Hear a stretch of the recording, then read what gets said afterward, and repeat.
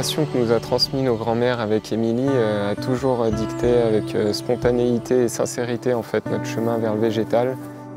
Et donc à travers nos expériences qui sont bien différentes, une idée est née, la compagne.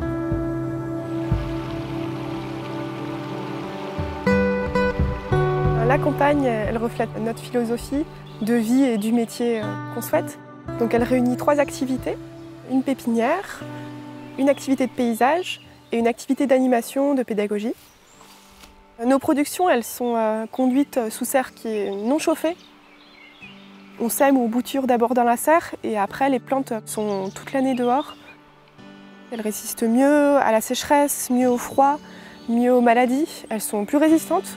Elles poussent un petit peu plus lentement par contre, mais euh, elles ne sont pas forcées, on va dire en fait.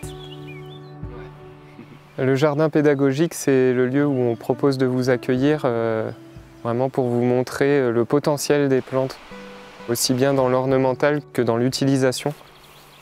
Ici par exemple,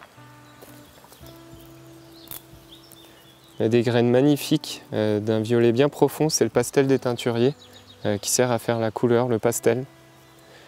Là, je suis entouré d'une agastache qui aide pour les problèmes de digestion et plein d'autres. C'est des plantes qui sont ouvertes à aller dans vos jardins et que vous pouvez aussi utiliser très simplement.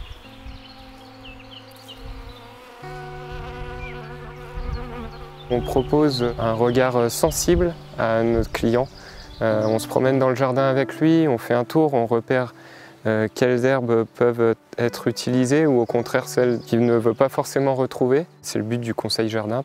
C'est aussi possible pour les collectivités, c'est-à-dire que les jardiniers qui font les espaces verts euh, dans les communes peuvent être accompagnés et auquel cas euh, reconnaître ce qu'ils peuvent laisser d'une année sur l'autre, faire des économies aussi bien d'eau, d'énergie. Voilà, c'est un format qu'on a imaginé pour vous et vraiment dans l'intention de partager nos connaissances.